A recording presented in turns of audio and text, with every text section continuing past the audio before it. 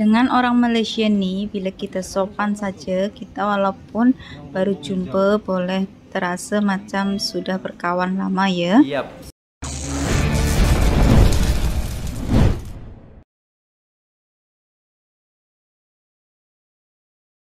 Assalamualaikum warahmatullahi wabarakatuh. Jumpa lagi dengan saya guys Cak Mujib Gimana kabar teman-teman semua? Semoga senantiasa dalam lindungan Allah Subhanahu wa taala, dijauhkan dari segala mara bahaya, malapetaka bencana dan bala serta berbagai macam penyakit. Amin amin ya rabbal alamin. Oke guys, di sini ada sebuah requestan daripada kawan-kawan sekalian. Terima kasih banyak buat teman-teman semua yang senantiasa request di Instagram, request di kolom komentar juga. Terima kasih banyak. Dan jangan lupa guys follow Instagram saya di @cakmujib ya. Jangan lupa untuk di-follow karena followernya sedikit sekali.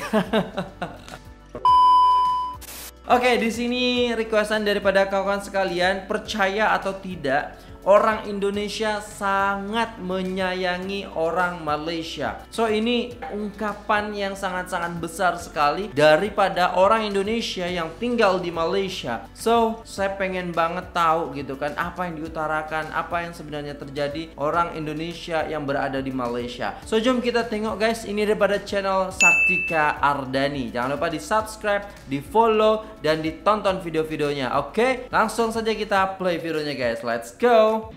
Assalamualaikum sahabat Saktika semua Apa kabar kalian? Semoga senantiasa sehat, murah rizki dan selalu dalam lindungan Allah subhanahu wa ta'ala Amin Dan di kesempatan video kali ini Sakti bersama kita semualah ah, keluarga Sakti Kardani nak menuju ke Hospital Muar. Oh, hospital. Tepatnya Hospital Sultanah Fatimah dan kali ini kita menggunakan jasa Grab ya. Kawan-kawan semua ada yang boleh teka tak ini drive-nya? Orang mana? Orang Sabah ke? Orang Cina ke? Ataupun orang Sarawak? Dan kebetulan Abang Grab ini tinggalnya berhampiran dengan rumah Sakti Ardani ya. Dia masih duduk dekat Bakri je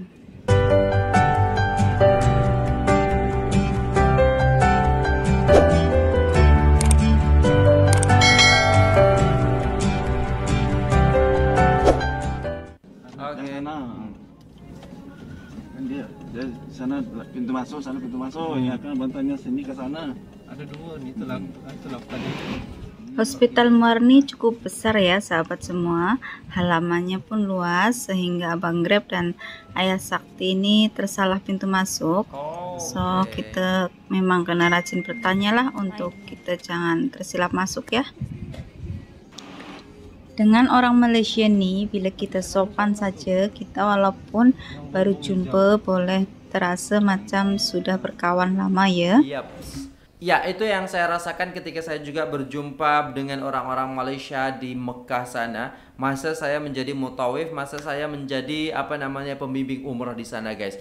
So memang ramah-ramah dan baik-baik juga dan sopan lah. Kalau kita sopan kepada mereka, mereka akan menghargai kita seperti itu. Jadi apa ya, kalau kita menghargai orang, maka orang lain akan hargai kita. Tapi kalau kita tidak menghargai orang, tidak pernah menghargai orang, maka jangan harap orang lain akan menghargai kita. So itu dari kita akan kembali kepada kita dan tetap apa namanya ya kebaikan-kebaikan yang akan kita lakukan akan kembali kepada kita. Jadi jangan pernah bosan untuk berbuat baik guys. So let's go lanjut lagi. So memang kita kena sopan sajalah insya Allah dekat Malaysia kita akan senang betul. uh, dapat pertolongan dan mudahlah bergaul dengan orang Malaysia. Apalagi bila orang Malaysia itu menyadari bahwa kita datang dari negara Indonesia semacam orang Malaysia itu merasa dekatlah dengan kita. Ah oke. Okay. ini berdasarkan pandangan pribadi saya sendiri ya mungkin dari sahabat Saktika Ardani ada yang berselisih pandangan. Mungkin nanti boleh komen-komen ya karena dari pengalaman kami sendiri Alhamdulillah kami selalu mendapatkan uh, sambutan yang baiklah ketika kami berjumpa dengan orang Malaysia walaupun baru jumpa macam itulah ya. Masya Allah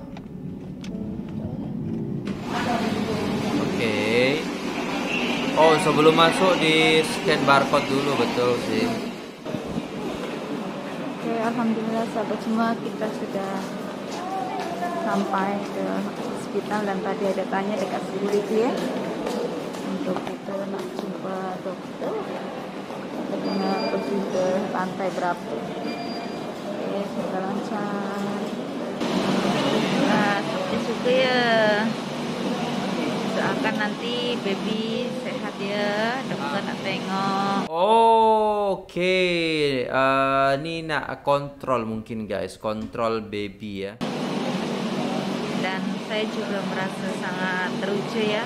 Sebab dulu masa saya bersalinkan sakti pun dekat sini dekat hospital kerajaan ya. Macam kita sudah apa ya macam sudah.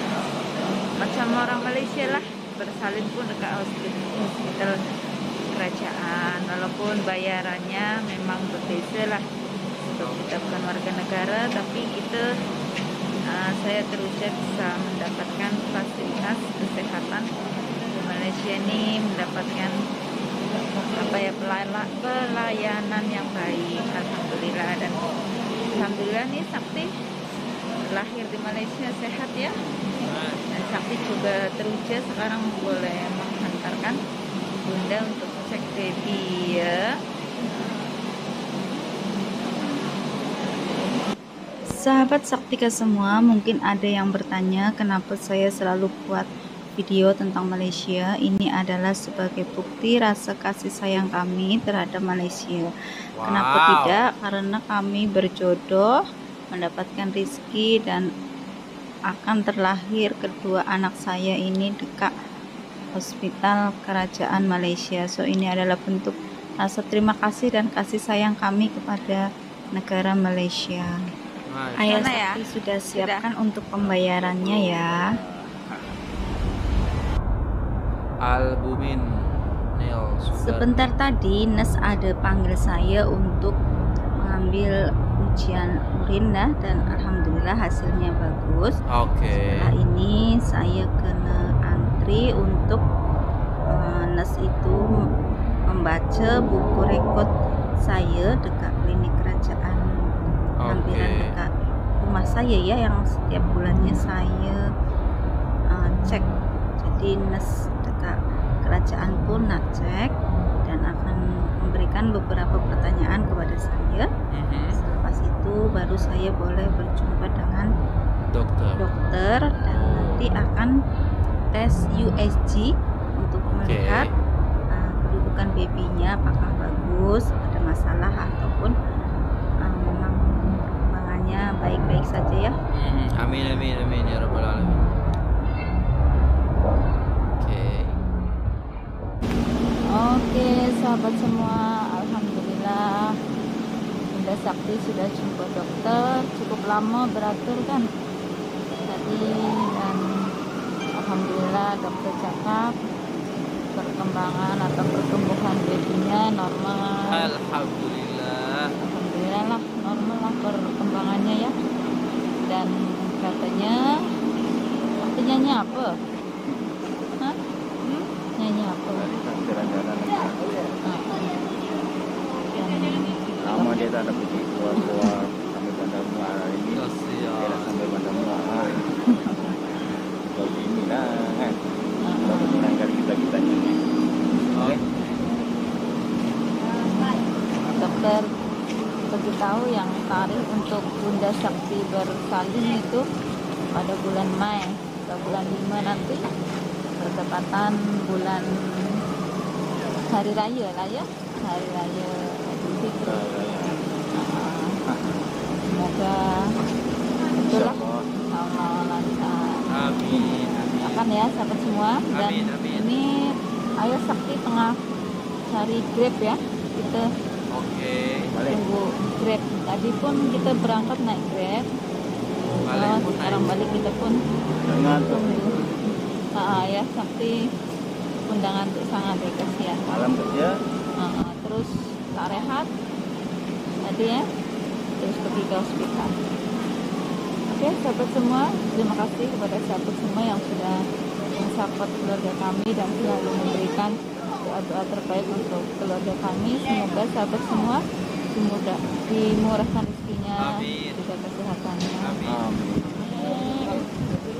Oke, sekian saja dari kami. Wabillahi taufiq wal hidayah. Assalamualaikum. Warahmatullahi wabarakatuh. Waalaikumsalam. しま。Oke guys, sudah selesai videonya. So itulah tadi uh, orang Indonesia ini sangat menyayangi Malaysia. Sebab fasilitas yang diberikan oleh rumah sakit Malaysia kepada orang Indonesia dan itu membuat mereka terkesan seperti itu. Sama, fasilitasnya sangat-sangat bagus juga. Dan apa ya? Daripada keluarga ini kita belajar bahwasannya kalau kita hidupnya sopan, hidupnya baik, maka perlakuan orang lain kepada kita juga baik, guys. Itu pelajaran yang sangat-sangat penting bagi kita dan kita hidup bukan hidup sendiri, kita hidup bermasyarakat. Jadi kita harus berbaur dengan masyarakat, melakukan kebaikan-kebaikan kepada tetangga kita, kepada jiran kita, kepada teman-teman kita dan kepada orang yang dekat dengan kita ataupun jauh kepada kita. Jadi kita kena sopan, kena ramah, kena baik. Kalau semua itu ada pada diri kita, maka insya Allah jalan hidup kita juga akan baik. So, terima kasih sudah tengok video ini sampai selesai. Jangan lupa untuk like, share, komen, dan subscribe channel saya dan juga Saktika Ardani. Terima kasih sampai jumpa di video selanjutnya. Apabila ada salah kata mohon dimaafkan. Wassalamualaikum warahmatullahi wabarakatuh.